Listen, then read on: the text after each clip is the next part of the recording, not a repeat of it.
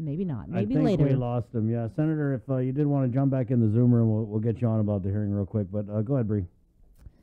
All right, also up for public hearing is Bill 153 for the Finance, Design, Construction of DOC, also known as the Department of Corrections Modernization Act of 2021. The bill allows for the construction of a new prison, which will resolve the lack of rehabilitation programs, overcrowding, and personnel issues of the agency. According to the main sponsor, Senator Joe San Agustin, Bill 153 aligns with the department's plans to construct a state of the art correctional facility. The bill, together with DOC's plan, ensures that all federal standards, such as, such as the National Prison Standards and Prison Rape Elimination Act, are met by the agency. That hearing gets underway at 9 a.m. But in the meantime, we're going to head into the Zoom room now where we have reestablished our connection with Sen- Senator Frank Blas Jr., uh, whose bills are going up for a public hearing any minute now or at the bottom of the hour Bill 70 and Bill 91. Good morning, Senator. Good morning, Bree. Good morning, Chris. I'm sorry, know, this morning we're trying to connect and it's been difficult. So, anyways, glad to be on. Well, thank you for being on. Uh, two of your bills, I think they're still scheduled for a hearing this morning, correct? Yeah, a couple bills. Um, you know, both of them basically pandemic related. Um, and I'm glad that uh, finally getting a hearing so that uh, we can hopefully get it on, you know, onto session session agenda. Um, you know, two bills. First off, a bill that would provide some recompense for uh, you know of the community for having to, as a result of mandates uh, from the government to to to purchase personal protective equipment, you know, hy- hygiene products, you know, to uh, you know for uh, to to keep uh, safe. Um, a bill that would be able to provide uh, up to five hundred dollars, uh, you know, basically uh, per individual per per per per you know in in this case, and it could be our youth. Uh, but it's for families who've had to spend money that they don't have or they wouldn't normally spend on based on the government mandate uh, to be able to uh, to protect themselves. Secondly, is a bill that uh, in times of emergency, um, uh, emergency declaration uh, would would restrict um, within the government just to those positions that are directly related uh, to be able to mitigate or to respond to the emergency. Now, the restriction is just during a time of emergency, uh, the declaration of an emergency. It does not restrict any otherwise. It just says that in, in this time, uh, all the resources should be directed towards uh, resolving or, or, taking care of the emergency to include hiring. And, and so that's what these two bills are for. Mm-hmm.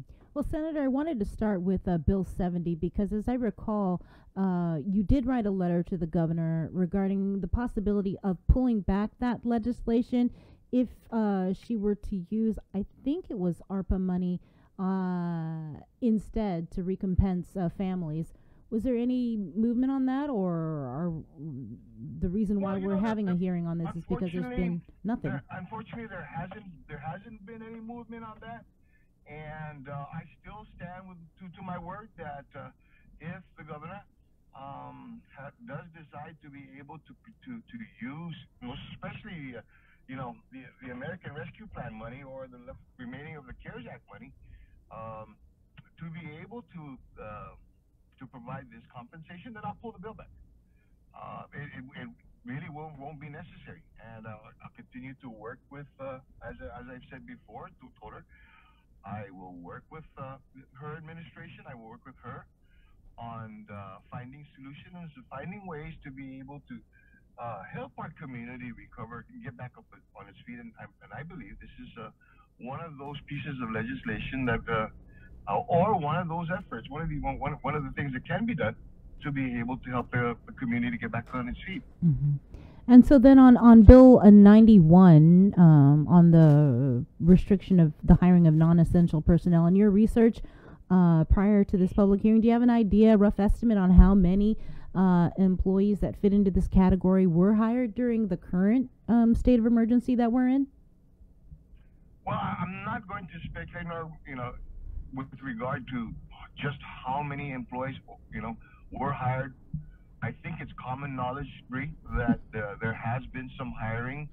There has been talk, uh, you know, in the community. There has been talk amongst, you know, even people in the government, to the necessity uh, for some of this hiring with relation to the pandemic. How does it fit?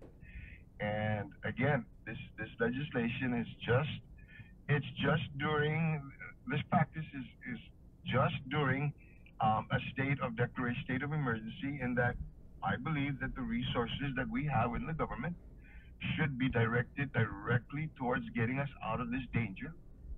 Um, and if you need to hire individuals to be able to accomplish that, that's still permitted. Um, it does not exceed past the, the declaration. I think that uh, I, we can all agree that uh, uh, once the emergency is done, once we've gotten out of the declaration and you know we, we've basically gone back to normal, then uh, we can, you know, for lack of a better term, justify or you know the, the, need to be able to hire those individuals. It doesn't it doesn't infringe upon that. It just says that during the emergency, the resources of the government of Guam should be solely and, and primarily directed toward mitigating uh, and, and responding to that emergency. Mm-hmm. Have you heard anything about a spending plan? July 16th was uh, the deadline uh, for public comments for the U.S. Treasury's interim final guidance. Uh, the governor has kind of been holding to that July 16th uh, time frame uh, before we would, uh, I guess, the public would know about this spending plan. Have you heard anything from the inside that you can tell us about? Well, you know, um, I was I was fortunate and honored, privileged to be able to be invited by uh, our Congressman Mike Nicholas uh, to join in on a webinar provided by the Treasury Department on those uh, on the final ruling, um, and uh, you know to talk about where things are at and, uh, with regard to how you can spend or how the the American Rescue Plan money um, should be utilized.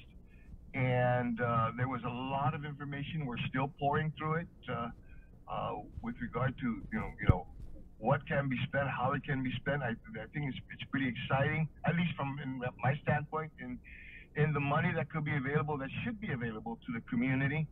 Um, you know, to to not just those individuals that were displaced, uh, but you know the individuals too that uh, put their lives on the line, uh, you know, risk their lives uh, to be able to help to to uh, mitigate, you know, the the dangers. Um, and so uh, I think that you know later on today, I've, I've, I'm sending a letter to to the governor um, with regard to you know how uh, suggestions as to you know how the money can be can be best spent, and also the caveat that, that I'm willing to work with her uh, mm-hmm. and, and being able to make sure that uh, this money, as intended, um, goes to helping our community, um, you know, get out of, of, of this crisis uh, that we, we continue to be on. My concern here, Bree, and, and, you know, Chris and Jay, Jason, is uh, in less than in, in, less than 30 days or so, um, there is going to be, or in September actually, there's going to be this fiscal cliff, and I'm going to I'm going to characterize it that way. Uh, that um, we're going to have to confront. That we're going to have to either uh, jump and hopefully we land safely, or you know, it could be uh, a little bit further down than than, than we all than we all think. It's it's scary because you know at that time many of uh, you know these the, the pool program you know is, is set to expire, um, and we still have uh, well over uh, 20,000 people who still rely on this to be able to make ends meet. What then? What what what measures have we put in place, or what do we have now that would help to to continue to to help these individuals get back on their feet because in order for our community and our economy to survive this thing, um, we've got to we've got to worry about that. Uh, you, know, those individuals too that uh, continue to be displaced, and those businesses that continue to struggle, uh, that are continue to suffer. So, you know, what are uh, those plans? What what what are we what are we doing to be able um, to, to, to mitigate that. What I'm, I'm, I'm, you know, I'm continuing to work on, and that's uh, in line with the letter that I'll be sending to her today. Um, I I wanted to follow up also on is there any word on when you may be holding this uh, follow up oversight hearing with the Guam Police Department? I'm not sure if you heard about this controversial decision that came out last week from the District Court of Guam uh, related to a uh, major drug case, in that the cooperating defendant had provided all of this uh, additional information uh, to the uh, federal law enforcement authorities, and for the most part, the judge uh, kind of uh, admonished uh, federal investigators for not fully vetting the information. Um, you know, as per the plea deal, you know, the cooperating defendant provides information in exchange for hopefully a lesser sentence. But in in the nuts and bolts of that decision, there was a part where um, the judge had said that these federal law enforcement agencies, this is one of the points, weren't sharing information, weren't vetting the information, and one of the reasons was, well, and only one of the reasons was that you know if we share this information for example with local law enforcement officials there has been cases where information has been leaked therefore compromising investigations and so have you uh, are you planning on holding any further a follow-up um, excuse me oversight hearing Uh, first off, yeah, I'm fully aware of, of the, of the, uh, the court case and, and what the judge, uh, you know, had commented on. Um, and it's been, you know, unfortunately, couple decades ago, that continued to, that, that, that was the problem as, as well. You know, there's a trust issue in, in, in law enforcement, and I'll just say it bluntly. Uh, and then, you know, one of the things that needs to be worked on is obviously, you know, trusting each other uh, in, in furtherance of, of an investigation. And while granted, you know, the, the admonishment uh, toward law enforcement was, was specifically directed towards federal agencies, um, you know, that was something that needed to be said because it continued to, it continues to happen. And, and you know, there, there, has to be that trust. With regard to, you know, the, the fear that, uh, you know, when you, when you, when you provide this information to local law enforcement, you fear the leak. Well, first off, uh, local law enforcement gets involved in these investigations as a joint, as a result of joint cooperation, and with the understanding, and for the most part, that uh, this information is is basically uh, you know, federal information, and you protect it. So, so to say that, well, uh, you know, we provide it to law enforcement and there's a leak, well, prove it. You've, we've heard this a, a number of different times, I mean, in some cases, uh, you know, I remember when I was in law enforcement, there, there was information that was supposedly leaked, but we we took care of it. You know, we, we plugged that leak, and there's going to be a GPD and Customs, Guam Customs. Um, you know, we're not the only agencies that are in town, or nor the only agencies that can be accused of this. Just as much as that is, you know, federal law enforcement too uh, may have some issues with regards to to to, uh, to holding information sacred you know, during during an investigation. So, but going back to to the, the oversight hearing, yes, you know, we I still com- communicate uh, weekly with with the chief of police to talk about you know the, the, the progress some of the concerns that were initially brought up and some of the concerns that continue to be brought up.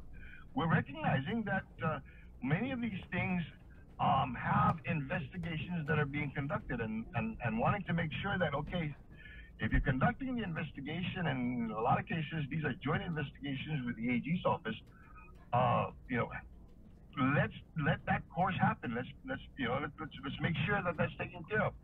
We don't want to be the impetus, or we don't want to be the reason why you know a case was broken down uh, because uh, the information was shared in an oversight. Get it, get it done, get it completed. You know, weed out the bad guys. Uh, let's come back to you. Is there any issues, concerns that you that you have that you that you're going to need our help in? Um, let's be able to talk about this. But in the meantime, you know, unfortunately, the, the, the, you know the, the, these cases um, do take some time, and there are basically legal time limits, and we don't want to be uh, the, the, the reason as to why many of these things were broken. Mm-hmm. All right, Senator. I know you've got your oversight. I mean, your public hearing on just a few minutes, but you know we are preparing to commemorate the 77th uh, liberation of Guam, and you are the president of the Guam War Survivors Memorial Foundation. So I just wanted to uh, give you this opportunity to give a, a, a, message to our, our community. Thank you very much. You know, to first off, to to our survivors, um, you know, to many of the to the ones that, that are still here, thank you for your endurance. Um, you know, you know, we, 77 years ago, you know, there were there there were prayers that were that were told said by thousands of Chamorros. Um, and 77 years ago, you know, those prayers were answered, um, and uh, basically the uh, you know the landing of, of, of the uh, military forces to be able to free our people from from bondage uh, by by the enemy forces. And so, in commemoration of this, we I want to say to to to our survivors, thank you for for your efforts. Thank you for your for having to endure this. Uh, we're going to continue to remember this. We we we know that today we are going to celebrate 77 years of your prayers being answered. Um, to our community, please take the time uh, to be able to, to thank them as well, to hug them. Um, because what they had to go through, we hope that we never have to go through ever again. So thank you very much and Viva Liberation. Viva liberation! Thank you. All right, Sen- Thanks, Senator. Good luck today. All right, thank you. Bye bye. Okay, take care. Okay, that was uh, Senator Frank Blas uh, Jr.